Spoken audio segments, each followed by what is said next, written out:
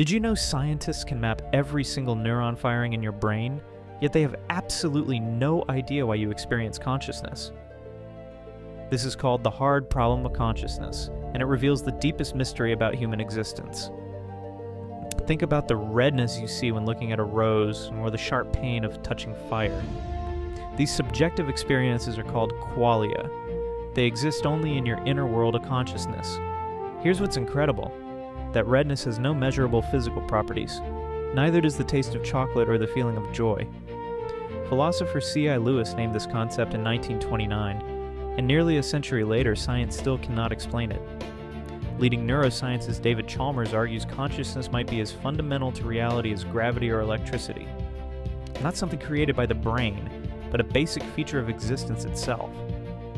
And this ancient philosophical question proves that being human transcends scientific measurement.